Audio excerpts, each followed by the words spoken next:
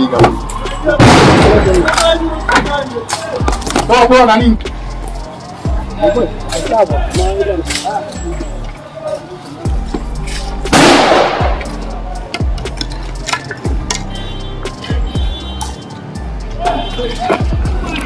Yeah, yeah, yeah.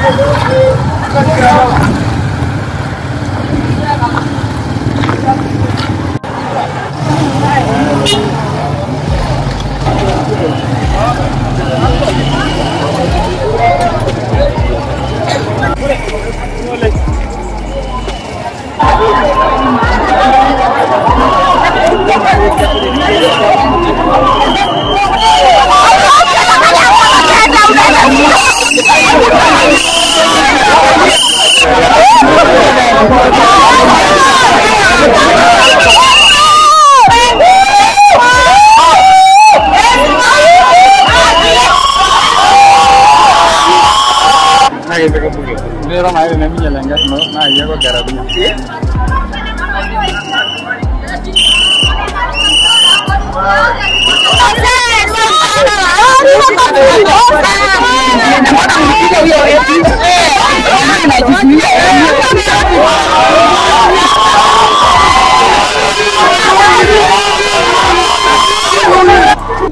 Ilikuwa jana mwendo wa saa moja, maskari walikuja walikuwa wamevaa sipia. Wakati akakuja watchman akamuuliza ni nini unataka kuingia ndani, masaa ishaisha. Huyo Desmond alimchapa na akamwambia unataka kujua sisi ni nani? Akamwambia mimi nauliza tu wewe ni nani? Madakika madakika akaanza kumchapa. Kutoka nyuma kuna maskari walikuwa nyuma nao akaanza kumvamia akachapo kichapo cha umbwa. Kuna mama mmoja mama mkongwe akakuja akakuja akasema woi, msimchape. Huyo mama naye akashikwa akachapwa. Mama alichapwa na alikuwa mama mkongwe zaidi, alichapwa ba- mbavu. Mama alitoka hadi akajikojolea.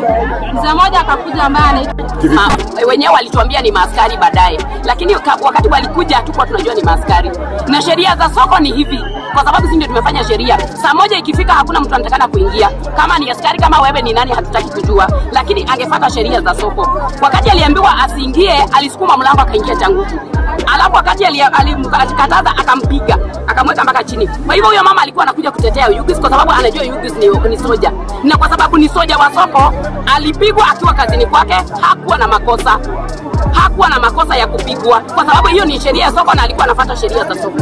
Eh, Kwa hivyo mnataka nini ifanyike? tunataka haki ya Oyugis ifanyike. Kivipi? Kitu ya kwanza tunataka hao maskari wachukuliwe hatua kwa sababu walifanya venye itakikani, kwa sababu hapo wamekosa. Kitu ya pili apelekwa hospitali sahihi kabla apelekwa kotini. Juu wanasema ati wanampeleka kotini na sijui ni makosa gani yako nayo.